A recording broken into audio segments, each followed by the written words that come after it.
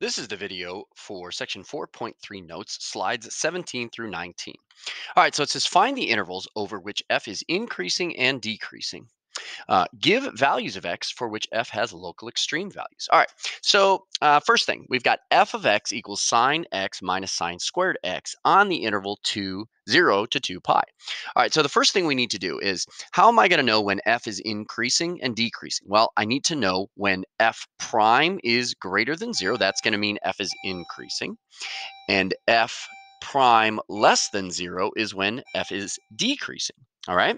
All right. And then local extreme values, remember, when f prime changes from positive to negative, right, that's going to be a local max. And when f prime changes from negative to positive, that's going to be a local minimum. All right. And so basically what it comes down to is that I need to know f prime. All right, so f prime of x. All right, derivative of sine of x is cosine of x minus the derivative of sine squared. So that'd be 2 sine of x times the derivative of sine, which is cosine of x. All right, so now what I want to do is I want to set this thing equal to 0 and solve. And so I'm going to solve by factoring out cosine x. So cosine x times 1 minus 2 sine x all right, and then I'm going to set each thing equal to 0. So cosine x equals 0, or 1 minus 2 sine x equals 0. All right, so cosine x equals 0. So when does cosine equal 0? Remember, we're thinking unit circle, and we're thinking uh, on the y-axis, right? That's when cosine equals 0. So that is going to be uh, at pi over 2 and 3 pi over 2 or 5 pi over 2, 7 pi over 2, right, and so on. But remember, we are looking for between 0 and 2 pi. So those would be the only values there. All right, what about this one? All right, so let's say I add 2 sine x. So 1 equals 2 sine x, divide by 2. So sine x equals 1 half. So now, when is sine equal to positive 1 half? So that is going to occur in quadrants 1 and 2. So that's going to be at x equals pi over 6 and x equals 5 pi over 6. And only those two locations, remember, because we're dealing with uh, the domain of 0 to pi. All right, so now what we want to do is we want to put those numbers onto a number line in the correct order. All right, so pi over 6, then pi over 2, then 5 pi over 6, and then 3 pi over 2. Remember, the spacing in between these doesn't really matter, but the order obviously does. Now, in a trig function, uh, this is very important, but in all of them, if you have a closed interval here, then you definitely want to uh, put those endpoints on the number line because if you go outside of those endpoints, then you may end up getting things to change, right? Particularly in a trig function. All right, so anyway, I'm going to put cosine up here. I'm going to put 1 minus 2 sine x here so that I can conduct my sign analysis. All right, so I'm going to have two rows.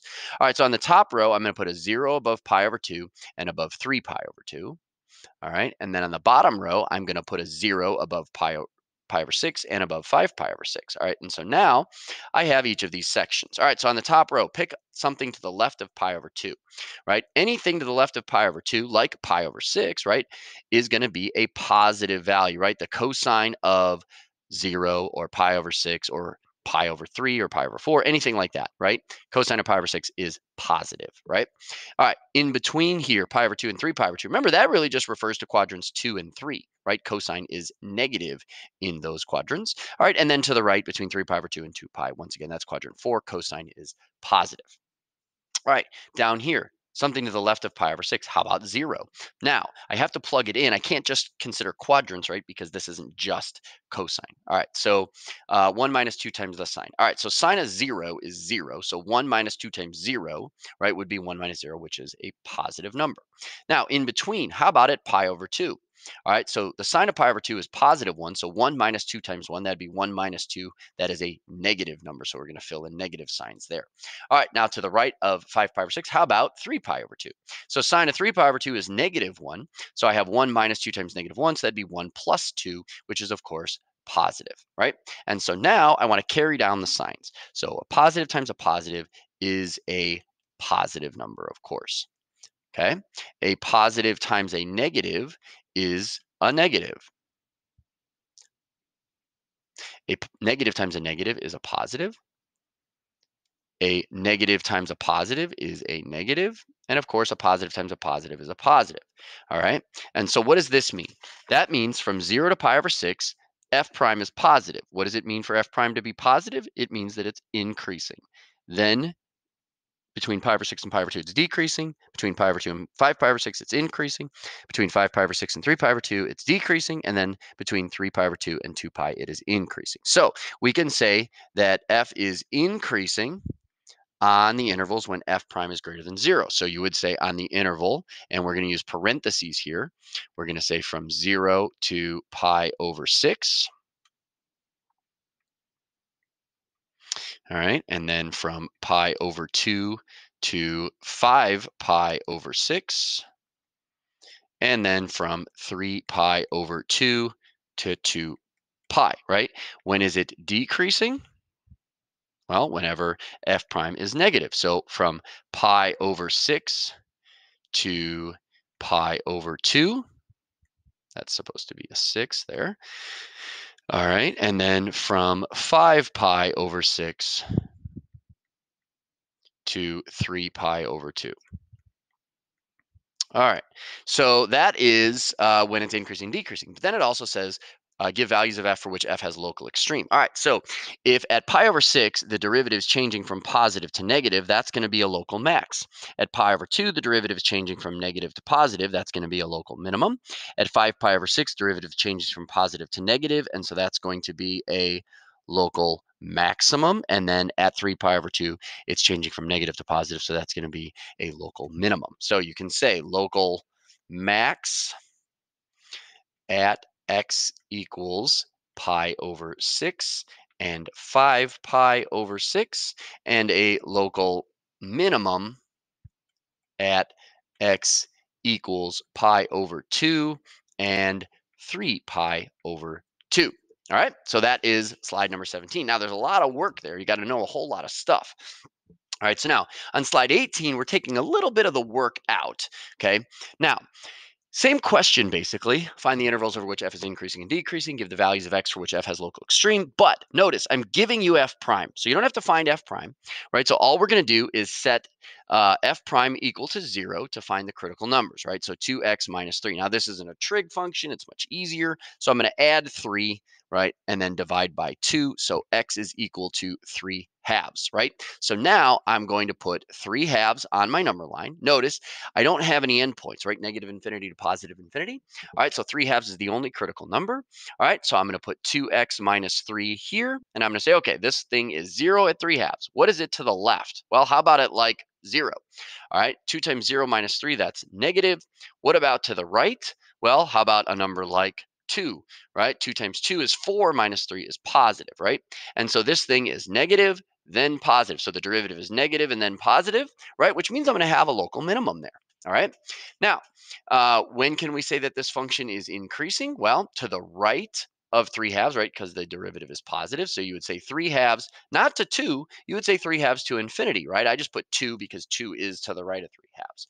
All right, what about decreasing? Well, it's decreasing from the left, which would be negative infinity, until you get to 3 halves, right? All right, and so then you could say there's a local minimum at well, x equals 3 halves, right? Because the derivative changes from negative to positive. Now, this would be an example of a problem where you could say, well, the derivative is only negative, right? So there must be an arrow here and then only positive here. So this actually at 3 halves must be the absolute minimum. Does that make sense? Because the derivative is only negative, so it's only decreasing. Then the derivative is only positive, so it's only increasing, right? So yeah, this is actually just a, a, parabola, right? When you think about it, the derivative was uh, a linear function, all right? So anyway, so that's a much easier example. All right, so slide 18. All right, but what about slide 19? Now, the example is much more challenging, right? Because look at what this function is, right? But notice I'm giving you the derivative, so you don't have to do that, okay? But it's the same question, and I'm giving you two endpoints, all right? So now what we want to do is we want to set this equal to 0, and we want to solve to find the critical numbers. All right, so set it equal to 0. All right, that's supposed to be a 0. All right, so I've got x minus 2 squared. Okay, very important that you remember that that thing is squared. All right, and then x plus 3 and then 2x minus 1. So now these three things multiply to equal 0. So each thing separately must equal 0, right? Or could equal 0. So x minus 2 squared equals 0, or x plus 3 equals 0, or 2x minus 1 equals 0. All right, so if x minus 2 squared equals 0, I square root, and then I add 2, so x equals 2, right? Easy enough. All right, what about this one? Subtract 3, so x equals negative 3. And this one, add 1, divide by 2, so x equals 1 half, right? So I have these critical numbers, and they are all contained on the interval negative 5 to 4. All right, so now I'm going to take my number line, right? I'm going to put those values on my number line in the appropriate order. So I've got negative 3 here, then I've got 1 half, and then I've got 2, and then keeping in mind what the endpoints are. All right, if there are endpoints, obviously. Okay, um, so now um, we're going to put our factors on the side. So the factors are x minus 2 squared. Remember that's squared. x plus 3, and then 2x minus 1. All right, so now I have three rows. All right, so now on the top row, I'm going to put a 0 above 2. On the middle row, I'm going to put a 0 above negative 3, and then I'm going to put a 0 above 1 half on the bottom row. All right, so now I've got uh, the top row. So pick a number to, th to the left of 2. Well, how about like 1 half or 0 or whatever, right? 0 minus 2 is negative, right? Negative 2, but then I square it so it becomes positive. Notice, if I pick any number to the left of 2 and I square it, I get a positive number right? What about on the right? Well, if I pick a number to the right, like 4, 4 minus 2 is positive 2, but then I square it, so it's still positive, right? So that row is always positive. All right, next row to the left of negative 3. How about like negative 4? Negative 4 plus 3 is a negative number, right? So any number to the left of negative 3 would result with a negative. How about on the right? How about 0? I like 0. 0 plus 3 is positive, so that means any number to the right of negative 3 is going to be positive. All right, on the bottom row, a number to the left of 1 half. How about 0? 2 times 0 minus 1, that is a negative. So any number to the left of 1 half would give you a negative. And how about on the right? How about 1? 2 times 1 is 2 minus 1 is positive. So any number to the right is going to give me a positive. So now multiply the factors. So positive times a negative times a negative, that is a positive number. Positive times a positive times a negative, that is a negative number. Positive times positive times positive is a positive number. And positive times positive times positive is a positive number. And so now, when is this function increasing? Well, it would be increasing when uh, this derivative is positive. So from negative 5 to negative 3, that's easy. Now, what about from 1 half to 2 and then from 2 to 4? Notice there's never a spot when it's 0. And so we would actually just say from 1 half to 4, right? Because for a function to be increasing, f prime must be greater than or equal to 0. All right.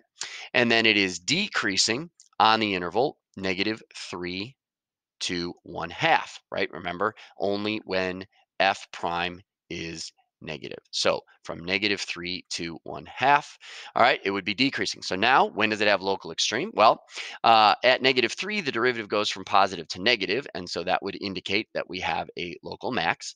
At 1 half, the derivative changes from negative to positive, so we would have a local min. But what about is going on at 2? Well, the function is increasing, right? Then it has a zero horizontal tangent and then it is increasing again. So it would look something like that, right? But notice it doesn't have a local extreme value, all right? And so we could say there is a local max at x equals negative 3 because the derivative changes from positive to negative, and a local minimum at x equals 1 half because the derivative changes from negative to positive. All right, so that is slide number 19. A lot of good stuff to know